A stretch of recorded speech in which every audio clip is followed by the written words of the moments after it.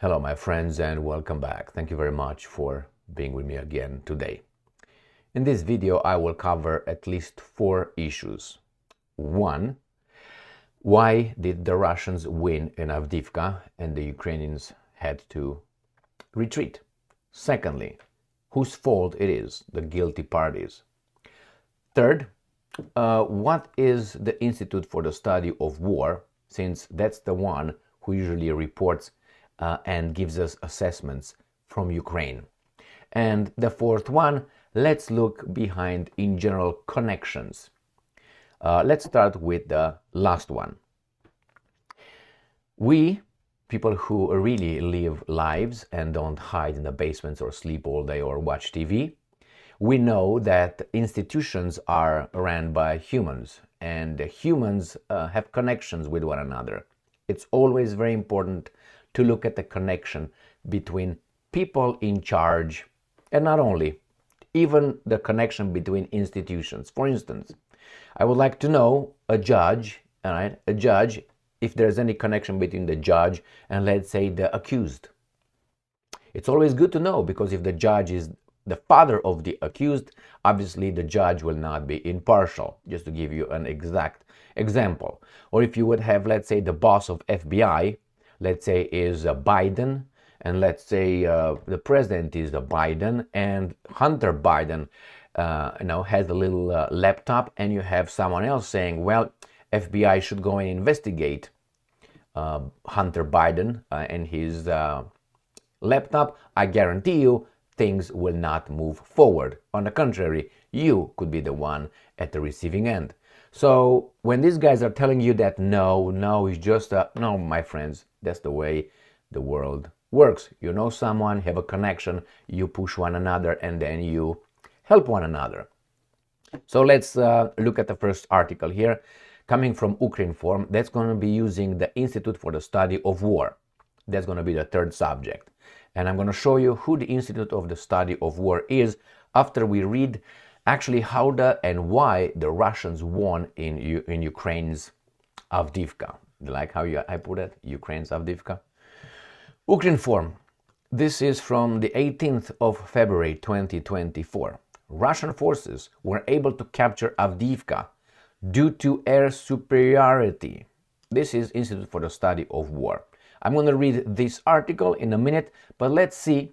I'm going to show you actually how easy it is to see connections in the Institute for the Study of War. What is this think tank that is the only one I think the Ukrainians are using. This fantastic Washington, D.C. based think tank. They're an institute, they're studying the war. Remember, another is a problem, but just to mention it in a passing, the president of the Ukrainian nation is Jewish. The prime minister is Jewish. The chief of staff is Jewish. The defense minister used to be Jewish, Reznikov. Okay? Just keep that in mind when I'm starting uh, this little um, dive into the Institute for the Study of War. Here it is Institute for the Study of War. The Institute for the Study of War is an American nonprofit research group and think tank founded in 2007 by military historian Kimberly Keegan. That's the person. And headquarters in Washington, D.C. Okay, well, let's go back here. We have President Kimberly Keegan. All right, let's see. We're going to go four, I think four clicks behind. That's all. One, we have here, right here.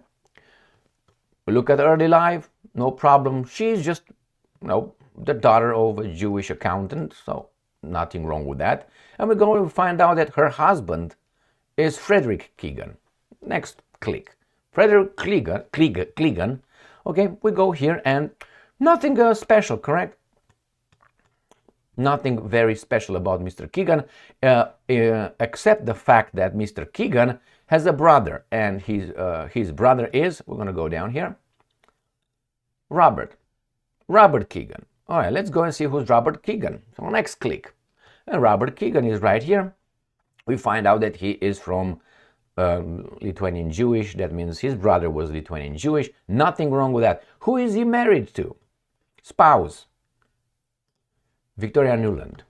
Who's Victoria Nuland? It's okay. she's just Eastern European Jewish, but doesn't really matter. I'm just pointing that this Victoria Nuland, is related to this, being her husband. This guy is the brother of this, and this is the husband of this, and this is in charge of this. So from now on, when you hear Institute for the Study of War, you know more about who's who, what's what, and if that think tank, that research, non-profit research uh, group is objective. All right, move to the article now and find out why the Russians won. They tell us. These guys are used almost always by Ukrainska Pravda, Ukrinform, Kiev Independent, uh, New Voice of Ukraine, all these are using this. I wonder why. I mean, I know why. You should know why. Because they are a think tank, research institute. Russian forces, non-profit. Russian forces appear to have temporarily established limited and localized air superiority and were able to provide ground troops with close air support during the final days of their offensive operation to capture Avdiivka. So, it is just limited and localized, not everywhere. Superiority, air superiority. The Washington based Institute for the Study of War said in its latest report, according to Ukraine. Ukrinform. All right, we got that. And it says the recent mass use of glide bombs in Avdiivka is the first time the Russian aviation has used these bombs at scale to provide close air support to advancing infantry troops. They don't need to use uh, provide air close air support. You know, this can be launched from far away, right? You can, okay, and can be glided and guided to the location. So anyway, I don't know what the problem is. The air superiority could be established from 50 miles away. I think a glider bomb can uh, be launched and hit the target. Institute for the Study of War notes that a spokesperson for the Ukrainian brigade operating near Avdiivka stated on February 17th that the Russian forces launched 60 KAB glide bombs at Ukraine position in Avdiivka over the past day, and the Ukrainian soldiers operated in the area stated the Russian forces launched up to 500 glide bombs at Avdiivka in recent days. So, a Kremlin affiliated milblogger claimed in February 17 that Russian forces launched 250 FAB glide bombs at one specific area in Avdiivka alone in the past 48 hours. So they dropped glide bombs. Now, whose fault is it? I mean, the Russians would have done that regardless of, uh, you know, how many Ukrainians have over there, how many shells they got, because you launch them from far away. The guys are capable of destroying those. I know that the glide bombs are the worst enemy of the Ukrainians. They can't hit them. They're too fast, too heavy, and uh, they can't do shit about it. Too small, actually. So next one. Let's go to the find the guilty. Who's the guilty for this? We gotta find the people. Therefore, we can change that and make it better, right? Um, like the right here. Ukrainska Pravda. Sunday, 18th of February. Biden tells us who that person is. Says Ukrainian troops were forced to withdraw from Avdiivka due to lack of ammunition and Congress inaction. So obviously the Congress inaction caused lack of ammunition, therefore the Ukrainian troops were forced to withdraw. He thought about that. He just, you know, he made the connections right here. Now, obviously, if the Congress causes Ukraine to lose, that means the United States fights Russia in Ukraine. Because otherwise, if the United States will stop its ammunition supply money, then these guys will lose. Therefore, you are 100% implicated in this one.